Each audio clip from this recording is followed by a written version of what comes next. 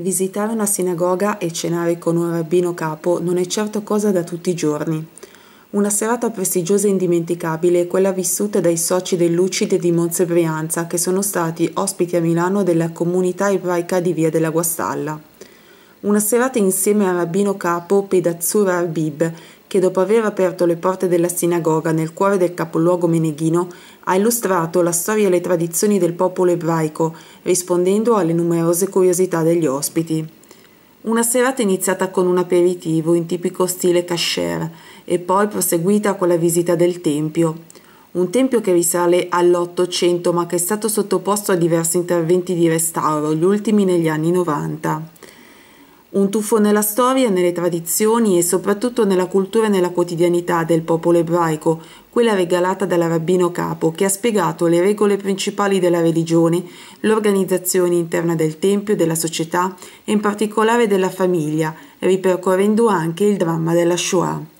Grande l'interesse soprattutto quando ha illustrato le regole all'interno della società ebraica, l'importanza dello studio, del senso di appartenenza ad una comunità dove, ironicamente, ha ricordato che se sei povero non ti fanno morire, ma se sei ricco non ti fanno vivere, spiegando la profonda solidarietà interna e sfatando anche stereotipi intorno al popolo di Israele, in primis quello sulla ricchezza, ricordando che non tutti gli ebrei sono ricchi, la ricchezza comunque non viene demonizzata, ma il ricco sa che deve dare alla comunità anche perché per un certo periodo è stato vietato di vivere a Milano.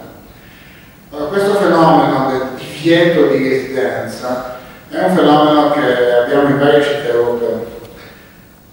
Lo abbiamo per esempio anche a Parigi. A Parigi gli ebrei non potevano vivere, a Strasburgo gli ebrei non potevano vivere. Fa parte di una lunga storia, di una triste storia in realtà, che è la storia dell'antisemitismo. La storia dell'antisemitismo, eh, fra i vari provvedimenti anti-ebraici che sono stati presi nel corso della storia, c'è stato quello del divieto di residenza, che era poi declinato in modi diversi, in alcuni casi non si poteva risiedere, in alcuni casi si poteva risiedere solo per il tempo necessario per lavorare al posto dell'uscita, eccetera, eccetera. Milano ha avuto questo periodo di divieto di residenza, per cui ebrei c'erano vicino a Milano, meno, diciamo, una comunità importante della Lombardia, era per esempio Mantova. Attualmente eh, Mantova è una comunità piccolissima in cui non sono quasi ebrei, sono forse una cinquantina di ebrei. Eh, ebraica è una vita molto regolata. Questo è forse un'altra differenza fondamentale con il cristianesimo. Non esiste sostanzialmente aspetto della vita che non sia in qualche modo regolato. Eh, l'idea è che, che ogni aspetto della nostra vita ha un rapporto con la divinità. Non esiste aspetto della nostra vita che non abbia rapporto con la divinità. Eh, credo che questo sia comune fra ateismo e cristianesimo si accomuna a qualunque pensiero religioso, nell'ebraismo diciamo che questo è un po' più pregnante da questo punto di vista, che si va molto nel pratico, faccio un esempio. Eh, se io devo mangiare un frutto, devo dire prima una benedizione sul frutto.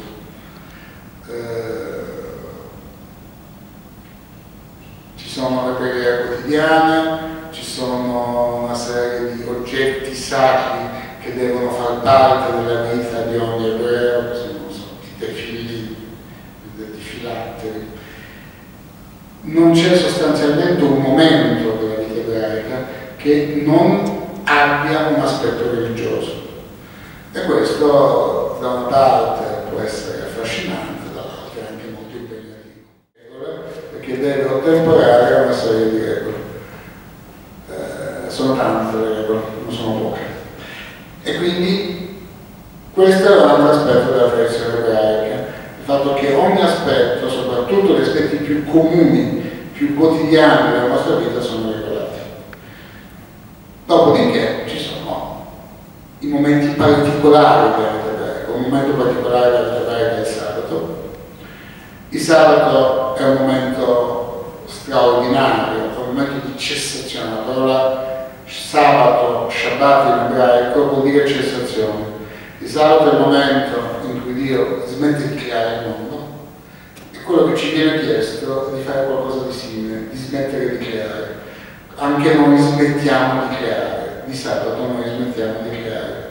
Il sabato è il momento in cui ci si ferma, in cui le attività si fermano in cui la nostra vita quotidiana assume un aspetto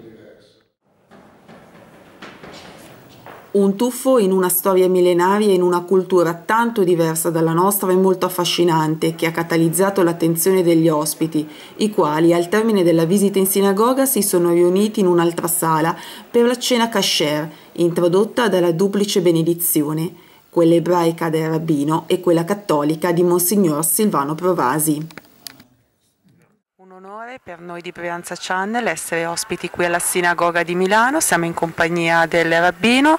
Per prima cosa un messaggio ai telespettatori brianzoli. Il messaggio è il saluto ebraico per eccellenza che è Shalom, che non è soltanto Shalom vuol dire pace, letteralmente, ed è il modo in cui ci si saluta, però la parola Shalom eh, ha un significato particolare perché viene dalla radice Shalem in ebraico, che vuol dire completezza, integrità. Quindi il messaggio di pace, il messaggio di riuscire a raggiungere la completezza da tutti i punti di vista. Ecco, è un momento molto delicato da un punto di vista internazionale, terrorismo, ma non solo.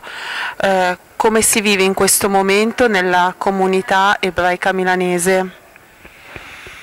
Si vive con preoccupazione, ovviamente la situazione è una situazione difficile, per noi diciamo che lo è da un po' di tempo, nel senso che come avete visto entrando al Tempio siamo un po' sotto assedio, nel senso che c'è la polizia, c'è, c'è l'esercito addirittura, eh, è una situazione che, che insomma, che è una conseguenza ovviamente del terrorismo, però insomma, dura da un po' di tempo. Siamo ovviamente preoccupati, come lo sono tutti gli italiani, penso, come lo siamo tutti. Non ci sono preoccupazioni particolari del momento, se non quelle che abbiamo tutti in realtà. Eh, tentiamo però di vivere la nostra vita senza porci continuamente il problema della preoccupazione. Ecco, vede delle vie di uscita veloci o pensa che questa situazione continuerà ancora a lungo?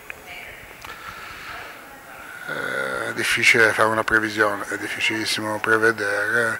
Mi sembra difficile che se ne esca così facilmente e così velocemente. C'è, evidentemente anche un progetto dietro, dietro gli atti terroristici, dobbiamo renderci conto di cosa abbiamo davanti eh, usare gli strumenti necessari per combatterlo. Ovviamente non, è, non si combatte semplicemente, non, semplicemente, non c'è una soluzione militare o una cosa del genere, la soluzione è una soluzione che comprende una serie di iniziative di tipo culturale, di tipo sociale e anche ovviamente di tipo che, che riguardano la polizia, la magistratura eccetera eccetera.